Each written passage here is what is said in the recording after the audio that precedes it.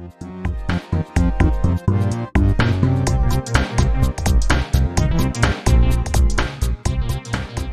the previous video for edge detection, I received a comment that said, is it possible to label the x-axis and y-axis of an image? So to answer this comment, in this video, I will talk about some tricks for MATLAB plots. Also, I will cover tricks for plotting at different dimensions. So first thing I would like to do is to answer the question.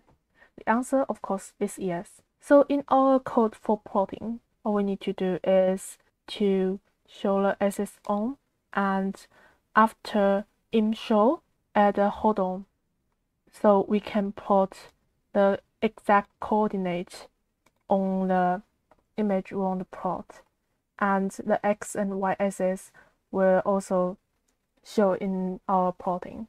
So let's run this section.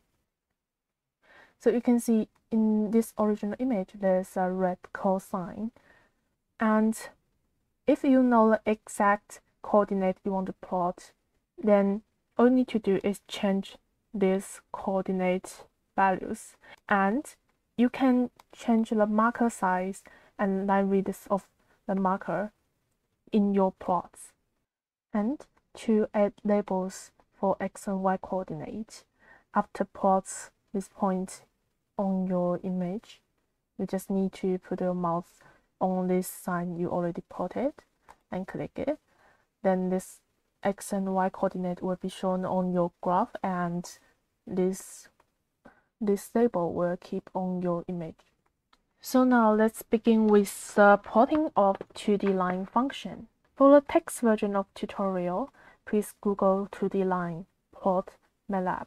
They offer a very nice description on their website. And in this video, I will um, briefly introduce how to plot 2D lines. The first thing we want before plotting is to make a function of x and y. So let's begin with defining x.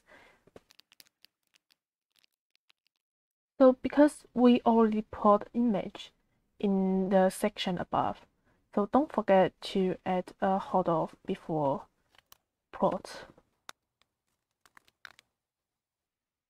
So let's this section. And this is the image we plotted. And different than the image plot we as long as there's a line in your plot you can just click and add labels anywhere you want you can find the x and y values that corresponding to the line you plotted so in case you don't know the value of x means x starts from 0 and ends at 2 multiplied pi. And the step of x to increase is pi divided 100. And the co corresponding y coordinate will also be plotted with a plotting command. So suppose we want to add something to the plotted graph, like what I mentioned above, we just need to add a hold on command. And then we define a new line. Let's say y1 equal to 2x and let's plot the new line to multiply x and run this new section. And you can see there's a new red line plotted over here. And the domain of x changed because the new line can reach y equal to 12 but the previous line the biggest value of y is just 1 if you don't want to plot two lines separately there's another method you can use. So let's hold off first because we want to plot in a new figure. And then plot x, y, this is our first function, and x, y1, which is our second function. And run the second second section, you can see our label disappear because this is a new figure and two lines plotted as we want. Also, the plotting command can plot a matrix. So let's define a new matrix. Let's say m equal to magic 4. So we get a two, uh, 4 by 4 matrix. And let's plot m and see what we got. And on this section, you can see there's four lines in our figure. And to understand these four lines, the best way is to see the value inside m. And you can see here the m looks like this. And the blue line here is actually the first column of our matrix. And there is a red line as the second column. This yellow line here is our third column and the purple line here is our fourth column. So to plot matrix, MATLAB will plot it column by column and link those points of each column together in in our figure. So there is four lines in the plotting image. So what about you want to see lines but dots? It's also very easy. All we need is to add this marker on the plot part and let's run this section and see what happens. You can see there is only round dots on our figures and lines disappeared, but they still keep the same colors for same columns, so you can figure out which one is in the same columns. But what if we want to see both dot and lines? So we add a dash before this small o and the section. And you can see now this round dot is added in the plotting figure. So now we know about 2D line plots. So how about 3D line?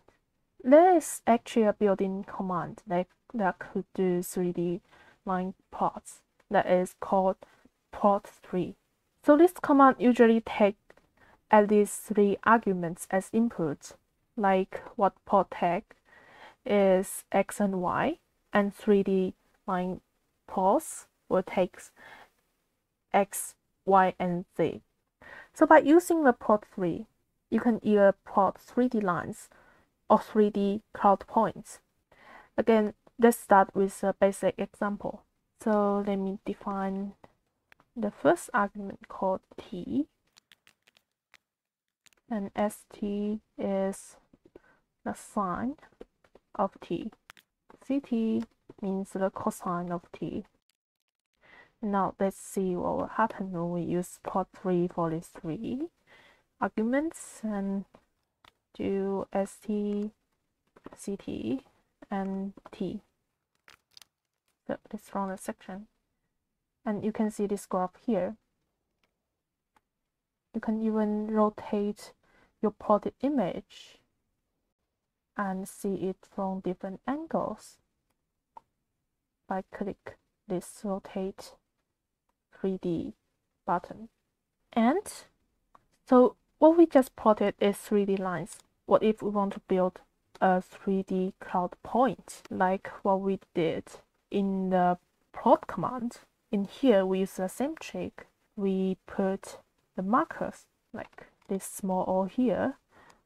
Actually, there's um, a lot of different markers you can use like stars, plus signs, but to make things obvious, I prefer to use this lowercase o and let's run this section.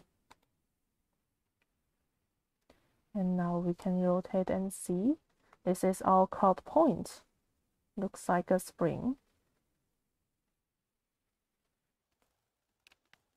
And again, you can also add uh, this small dash means we want to link all these cloud points together and let's run the section again and you can see they are linked together like a necklace. So in this video, I talked about the basic plotting skills in MATLAB for 2D and 3D line plots. And next video, I will talk about the content related to plotting of 3D metrics and size of 3D plots and multi-dimensional metrics. Hope this video is helpful.